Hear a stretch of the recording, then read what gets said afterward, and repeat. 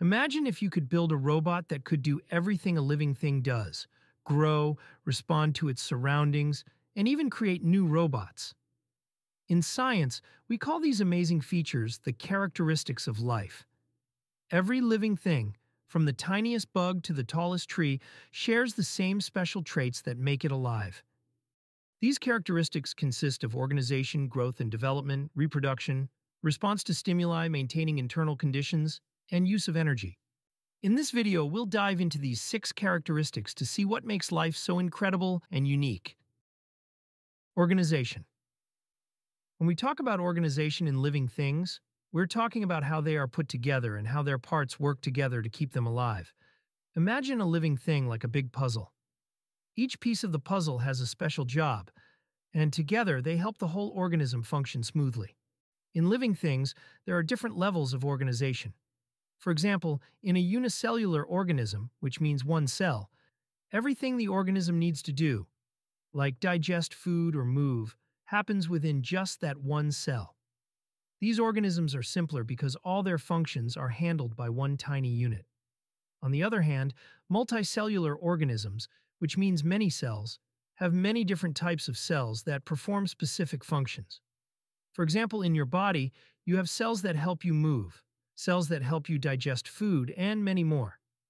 Each type of cell is like a piece of a big complex machine working together to keep the whole organism alive and healthy.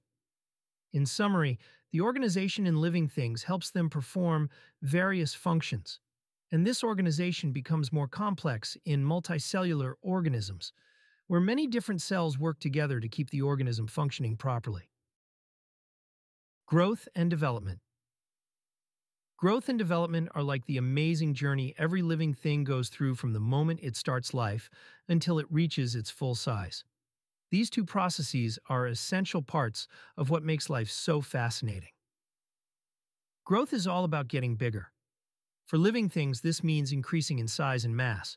For example, a baby animal grows into an adult animal, or a tiny seed grows into a tall tree. Growth involves adding new cells and materials to the body, making it larger and stronger. Development refers to the changes that happen as an organism grows. It's not just about getting bigger, but also about changing in more complex ways. Development includes changes in structure and function, like how a caterpillar transforms into a butterfly, or how a baby human learns to walk and talk. Development helps organisms adapt to their environment and become more suited for their lives. Together, growth and development help living things become fully functional and ready to survive and thrive in their surroundings. Each stage of growth and development is important for achieving the full potential of life. Reproduction Reproduction is one of the most exciting characteristics of life because it's all about creating new life. Without reproduction, living things couldn't continue their species. There are two main ways organisms reproduce sexual reproduction, and asexual reproduction. Sexual reproduction involves two parents, each contributing genetic material to create offspring. This process combines traits from both parents, leading to new and unique combinations of characteristics.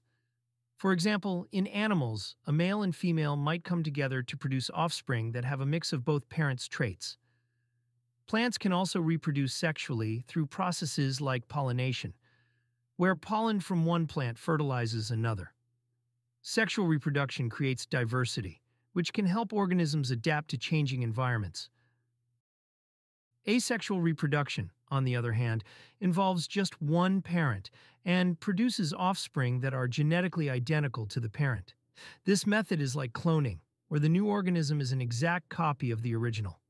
For example, single-celled organisms like bacteria reproduce asexually by splitting into two identical cells. Some plants and animals can also reproduce asexually by growing new individuals from parts of their bodies. Asexual reproduction is usually quicker and doesn't require a mate, which can be an advantage in stable environments. Both methods of reproduction are crucial for the survival and continuation of species, each offering different benefits depending on the organism and its environment. Response to stimuli. Response to stimuli is all about how living things react to changes in their environment, whether those changes come from inside their bodies or from outside. This ability to respond is crucial for survival and helps organisms stay healthy and adapt to their surroundings. Internal stimuli come from inside the organism. For example, when you feel hungry or thirsty, it's your body's way of telling you that you need food or water. These internal signals prompt you to find and consume what you need to stay healthy. Similarly, if you're tired, your body might signal you to rest. Living things have built-in systems to detect and respond to these internal needs to maintain balance and function properly. External stimuli are changes or signals from the outside environment. These include things like light, temperature, and sound. For instance, plants grow towards light because they need sunlight for photosynthesis, the process that helps them make food. Animals, including humans, react to changes in temperature by sweating when it's hot or shivering when it's cold. These responses help them regulate their body temperature and stay comfortable. External stimuli can also include things like danger, where animals might flee from predators or humans might jump if they hear a loud noise. By reacting to both internal and external stimuli, living things can adapt to their environment, stay balanced, and survive in a constantly changing world. Maintaining internal conditions. Maintaining internal conditions is crucial for the survival of living things. This process is known as homeostasis, which is the ability to keep the internal environment stable and balanced, despite changes in the external environment. Homeostasis helps organisms keep their internal conditions, such as temperature, pH levels, and fluid balance, within a narrow, optimal range.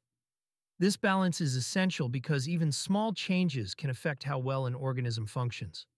For example, temperature regulation is a key aspect of homeostasis. Humans and many other animals have mechanisms to keep their body temperature around a set point. When it's hot outside, your body sweats to cool down. When it's cold, you might shiver to generate heat. These responses help maintain a stable internal temperature. Another example is fluid balance. When you get dehydrated, your body signals you to drink water. This helps restore the right amount of fluids in your body, which is important for many bodily functions. Overall homeostasis is like a set of built-in controls that help living things manage their internal environment, making sure they stay healthy and functional, no matter what's happening outside. Use of energy is essential for all living things because it powers everything they do. From growing and moving to reproducing and responding to the environment, energy fuels all the processes that keep organisms alive. Most organisms get their energy from the sun, which is the primary source of energy for life on Earth. Plants are special because they use sunlight to make their own food through a process called photosynthesis. During photosynthesis, plants capture sunlight and use it to convert carbon dioxide and water into glucose, a type of sugar that provides them with energy. This not only fuels the plant's growth and development, but also produces oxygen, which is essential for many other living things. Herbivores, or plant-eating animals, get their energy by consuming plants. When they eat plants, they use the energy stored in the plant's tissues to fuel their own activities.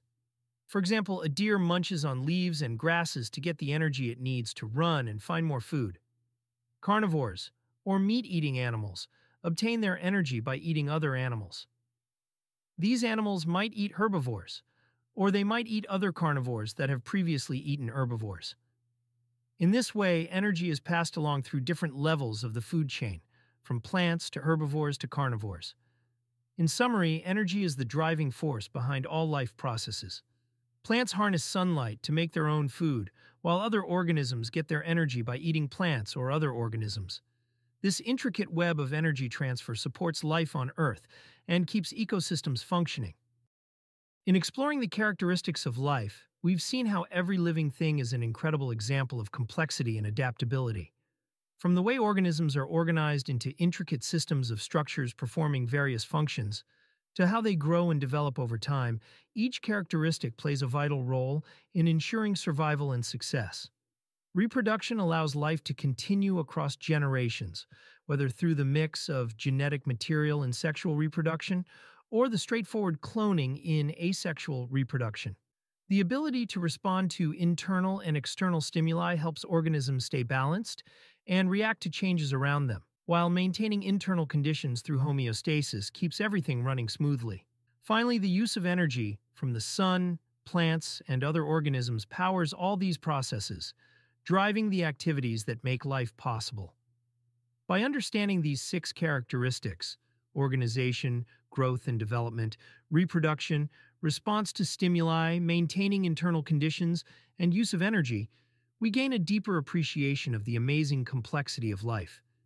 Each characteristic is like a piece of a puzzle, fitting together to create the vibrant and diverse web of life on our planet.